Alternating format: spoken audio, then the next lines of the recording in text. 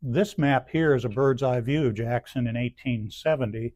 It's a lithograph that was produced in Chicago. That was in the uh, your building is actually right here. WNBJ's current home is one of the oldest buildings in town.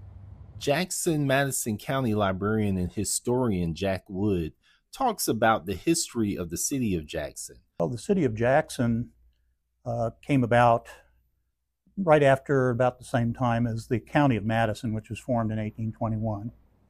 Um, this whole area of West Tennessee was called the Western District. Um, later, it was referred to as the Purchase area, which included Western Kentucky as well. Jackson was chosen because of its good water resources. The town named for Andrew Jackson included many of his relatives. Sort of the first dynasty of prominent people uh, with the last name of Butler, Chester, and Hayes. Jane Donelson Hayes, who was the matron of the Hayes family here, was the sister of Rachel Jackson.